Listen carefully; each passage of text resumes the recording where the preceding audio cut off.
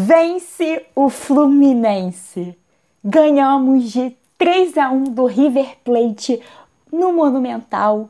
E como se não fosse suficiente, garantimos a nossa classificação para as oitavas de final da Libertadores. E é sobre isso que a gente vai falar aqui hoje no canal. Sobre a nossa vitória de 3 a 1 em cima do River Plate e sobre a nossa classificação para a próxima fase da Libertadores de 2021. Antes de começar o vídeo, já vou pedir para você se inscrever aqui no canal se você não é inscrito ainda, deixar seu like, deixar seu comentário, compartilhar esse vídeo com a galera que é tricolor e de me seguir nas redes sociais, porque eu tô sempre falando de Fluminense por lá e interagindo com vocês também. Meu Deus, gente, que alívio! Que alívio é poder ligar a câmera e estar super feliz e satisfeita com o resultado do jogo de hoje. Ganhamos ganhamos do River Plate, ganhamos de 3 a 1 do River Plate dentro do Monumental. Nos classificamos em primeiro lugar no tão temido grupo da morte e estamos nas oitavas da Libertadores de 2021. Vamos lá que eu tenho muita coisa para falar sobre o jogo de hoje. As mudanças que Roger fez surtiram um efeito. Eu vi um Fluminense organizado, eu vi um Fluminense sabendo jogar, eu vi um Fluminense hoje com vontade, com garra, especialmente no primeiro tempo.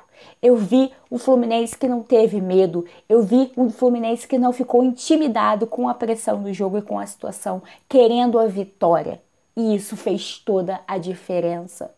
As mudanças que o Roger fez surtiram efeito. Samuel Xavier, na minha opinião, veio para ficar. Apesar de eu adorar o Calegari e gostar muito dele como jogador, não tem como dizer que o Samuel Xavier hoje fez uma partida muito boa e para mim um dos destaques da partida e bem superior às atuações que o Calegari veio feito. Então, para mim, Samuel Xavier veio para ficar, mandou muito bem e conseguiu atuar muito bem com Caio Paulista. Eu fui uma das pessoas que mais criticou o Caio Paulista na temporada passada.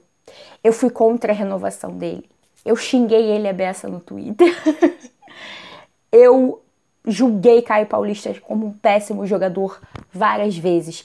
E repito, eu ainda não consigo achar Caio Paulista um excelente jogador. Mas de uma coisa eu não posso negar: o progresso dele, a vontade dele de estar em campo, a raça dele. Caio Paulista está numa fase muito boa. Caio Paulista está sendo decisivo para o Fluminense. E hoje não foi diferente. Caio Paulista deixou dele marcado e olha, atuou bem como titular. E aqui eu tô mordendo minha língua. Porque eu mesma falei no meu último vídeo que eu não queria Caio Paulista como titular.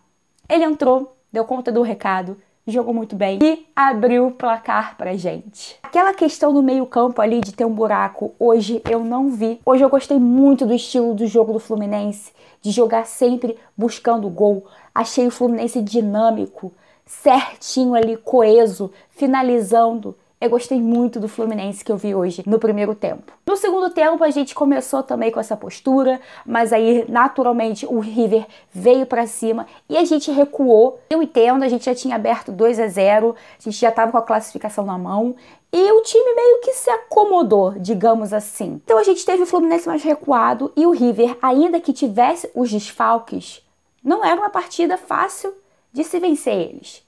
Todo mundo sabe que eles não são uma equipe que se dão por vencidos.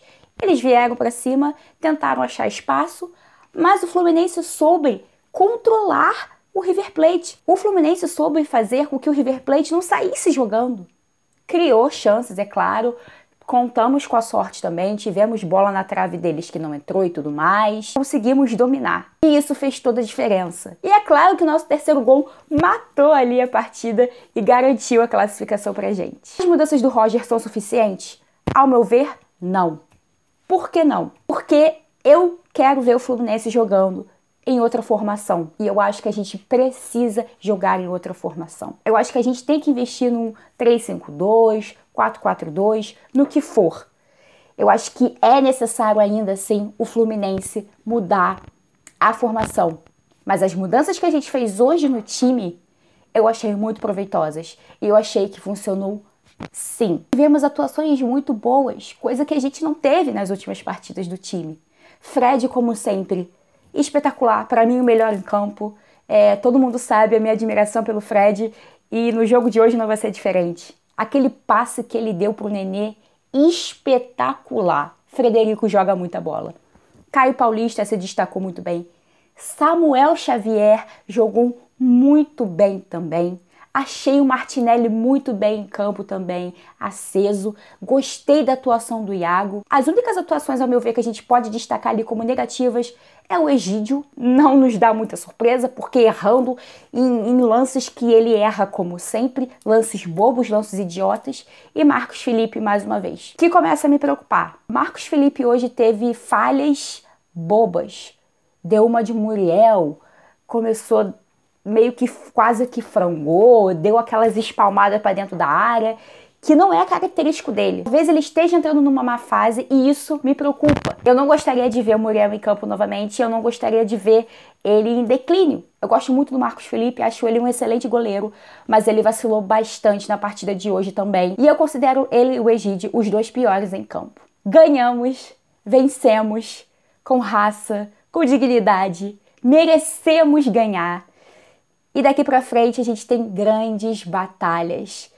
As oitavas de final é onde a coisa começa a pegar fogo, é onde não tem espaço para erro, é onde não tem espaço para empate. Só a vitória nos interessa. Passamos do temido grupo da morte. Em primeiro lugar, isso é mérito, mérito da equipe, mérito do Roger também. Apesar de eu cobrar mudanças dele, eu nunca fui a favor da saída dele e eu continuo com a minha opinião. Não acho que Roger Machado tenha que sair do Fluminense. Não acho que Roger Machado seja um péssimo técnico. Acho apenas que ele precisa fazer algumas alterações na equipe, como por exemplo mudança tática, para encaixar o Fluminense melhor e a gente ter um time com atuações boas e mais frequência. Agora a gente vai ter uma pausa de dois meses até a próxima fase e eu espero que ele faça os acertos necessários que tem que fazer e que invista mais no time e que a gente continue tendo atuações como hoje, porque eu fiquei muito orgulhosa do que a gente fez em campo hoje. E esse foi o vídeo de hoje, galera. peço mais uma vez que você deixe seu like, seu comentário, que você compartilhe esse vídeo com os amigos tricolores de vocês e que vocês me sigam nas redes sociais. Um beijo, até a próxima e saudações tricolores.